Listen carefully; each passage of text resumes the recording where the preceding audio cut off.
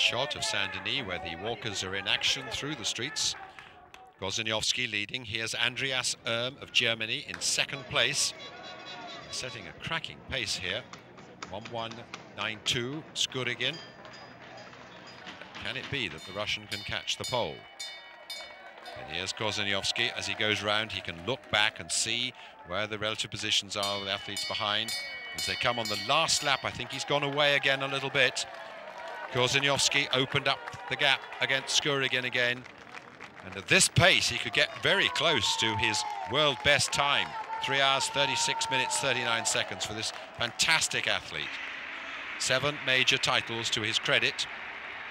And a great deal of support. He lives in France, has done for a long time. He speaks five languages fluently. French and Polish and German and Italian and Spanish. He really is quite a quite a guy. And there's been never has been anyone quite able to match his talent at winning gold medals before. And here he is now, coming to the conclusion of a 50 kilometre walk. And it's Robert Korzeniowski coming in to win the 50 kilometres. And he's going to smash his own world record by about half a minute. Yet another world title, his third for Korzeniowski. And it's a new world best time.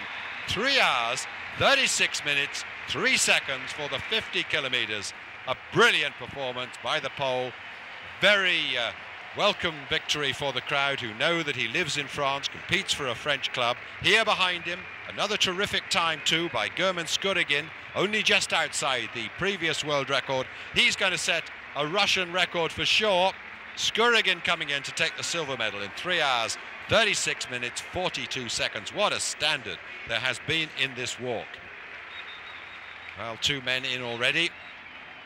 The other athletes not far behind. Andreas Erm of Germany, as we saw, in third place. And there Korzeniowski goes over the Seiko clock, which displays on the bottom there his new world best time, 3 hours, 36 minutes, 3 seconds. Well, he well deserves to lie down and take some rest after those exertions. Third world title, he's won two Olympic titles, he's the European champion, already the world record holder, and now that new world best, 336.03, with the silver to Skurygin, the bronze to um,